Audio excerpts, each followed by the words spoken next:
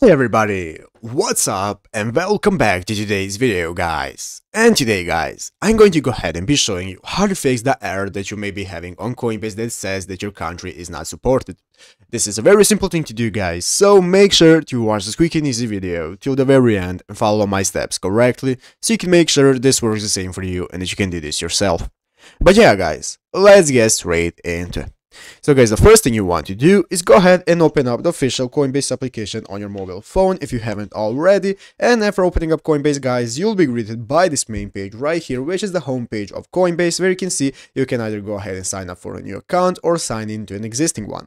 So guys, now what you want to do is go ahead and either sign up for an account or log into one you already have. And after trying to do that, guys, you'll probably be getting an error that says that your country is not supported.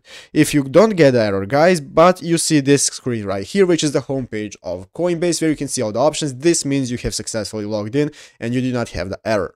But guys, if for some reason you still have the error, then this is how to do that.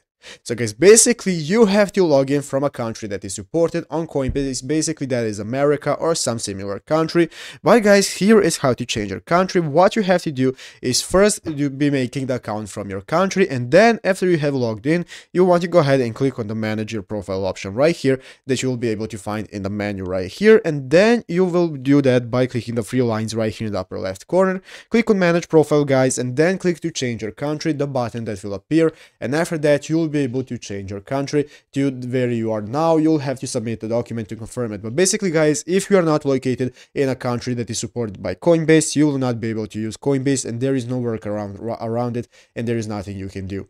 But yeah, guys, basically those are the solutions that you have. So I hope this video was helpful. If it was, make sure to leave a like, subscribe to the channel. So yeah, guys, thanks for watching. Take care and bye.